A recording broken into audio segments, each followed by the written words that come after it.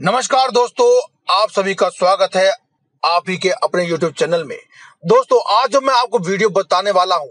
आज जिस उपाय के बारे में हम बात करेंगे। इस उपाय को करने से आपके जीवन से कल है तो हमेशा के लिए ही मिट जाएगा। और साथ ही जो आपके जीवन में पैसे से संबंधित समस्याएँ हैं, वे भी समाप्त हो जाएँगी। और आपके घर में लक्ष्मी का वास हो जाएगा। लक्ष्मी का वास यानी कि ऐसा कभी नहीं होगा कि जैसे आपकी कभी तिजोरी खाली है आपके पैस, पर्स में पैसे नहीं है, कभी पैसा टिकता नहीं है। आपके घर में, तिजोरी में हमेशा और आपके पर्स में हमेशा पैसे टिकने लगेंगे। आपका चंद्र, शुक्र, शनि, सूर्य और मंगल इस क्रिया को करने से मज़बूत होता है और यह सभी ग्रह कारक होते हैं कि आपके जीवन में आपको कामयाबी, सुख संपत्ति, मान सम्मान, धन लक्ष्मी और वैभव आदि की कामना को पूरा करें। इसीलिए आज की वीडियो बहुत ही महत्वपूर्ण है, जिसमें हम आपको ऐसा उपाय बताएँगे, जिसे करने से आपके जीवन में आप इन सभी ग्रहों को मज़बूत तो कर ही पाएँगे, साथ ही अपने जीवन में एक सुखमय जीवन भी जी पाएँगे। तो दोस्तों, आज की वीडियो को पूरा अंत तक अवश्य देखें और कमेंट बॉक्स में जय माता दी, जय बजरंग बली एक बार अवश्य लिख दें। और इस वीडियो को अंत तक देखें। अगर अभी तक आपने हमारे इस चैनल को सब्सक्राइब नहीं किया है तो आप पहले से सब्सक्राइब कर लें, क्योंकि हम हर रोज लाते रहते हैं ऐसे ही ज़बरदस्त वीडियोज़, जिनसे आप अपने जीवन को सुखमय बना सकते हैं और जी सकते हैं एक सुखमय जीवन। दोस्तों, जो आप अपने घर की रसोई में आटा गूंदते हैं, इसका सीधा संबंध सूर्य ग्रह से है। और सूर्य ग्रह जब किसी व्यक्ति का मज़बूत होता है तो उसका सीधा संबंध आपके मान सम्मान और कामयाबी से होता है।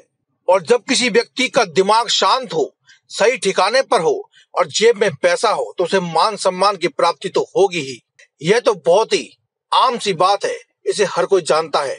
दोस्तों, आपको हम एक बार फिर बता दें कि अगर आप इस उपाय को हर रोज करते हैं तो आपके जीवन में आपको कामयाब होने से कोई भी नहीं रोक सकता है। ऐसा नहीं हो सकता कि आपके जीवन में आपके पास पैसा टिके नहीं, आपका पर्स खाली रहे या फिर आपकी तिजोरी खाली रहे। ऐसा हो ही नहीं सकता है। इसीलिए बस आप इस वीडियो को पूरा अंत तक देखें और कमेंट बॉक्स में जय माता दी, जय बजरंग बली एक बार अवश्य लिखें और चैनल को सब्सक्राइब भी करें। तो हमने आपको बताया कि गेहूँ का आटा जो आप अपने घर में मलते हैं, इसका सीधा असर, सीधा ताल्लुक आपके सूर्य ग्रह से होता है। दोस्तों, आपको क्या करना है? जब भी आप अपने घर में आटा गूंजते हैं तो आपको इस बात का बिल्कुल ध्यान रखना है कि आप अक्सर ये गलती तो नहीं करते कि जिस प्रकार से आटा गूंद लेने के बाद आप उसे गोल गोल बना करके रख देते हैं। ऐसा आप हरगिज भी ना करें क्योंकि दोस्तों, आपने ध्यान दिया हो कि जब भी किसी पितरों के पिंड भरे जाते हैं तो इस प्रकार का आटा वहाँ लगाया जाता है। और जब भी कभी माता की या फिर किसी देवी देवता की पूजा की जाती है तो वहाँ पर हम अपने हाथ का छापा लगा करके फिर उनकी पूजा करते हैं। यानी कि जब भी आप आटा गूंद लें आटा गूंद लेने के बाद आप उसके ऊपर अपनी हाथ का छापा, अपनी उंगलियों का छापा अवश्य लगाए। इस प्रकार के छापे को कभी भी कोई भी नेगेटिव एनर्जी कभी भी तोड़ नहीं पाती है। तो आप इस प्रकार से आटा गूंदे और आटा गूंद लेने के बाद उस पर आप कभी उसे चिकना ना रखें, बल्कि उसके ऊपर आप अपनी उंगलियों के छापे छोड़ दें। लेकिन आज की इस वीडियो में हम आपको बताने वाले हैं कि आटा गूंदते समय आपको उस आटे में क्या मिलाना है। आपको उस आटे में पाँच बूंद घी की और पाँच से ग्यारह दाने आपको चीनी के अवश्य मिला लेने हैं। और उसके बाद आप जब आटा गूंद लें और इस बात का आप ध्यान रखें कि जब भी आप अपनी जो घर की पहली रोटी बनाएँगे, उसे आप गाय को देंगे और जो अंतिम रोटी होगी, उसे आप एक कुत्ते को देंगे। कुत्ता अगर काले रंग का हो तो बहुत ही उत्तम है, लेकिन अगर नहीं मिल पाता है काले रंग का कुत्ता तो आप किसी भी प्रकार के कुत्ते को अवश्य दें। लेकिन घर की अंतिम रोटी कुत्ते को और घर की पहली रोटी आप गाय को अवश्य खिलाएँ।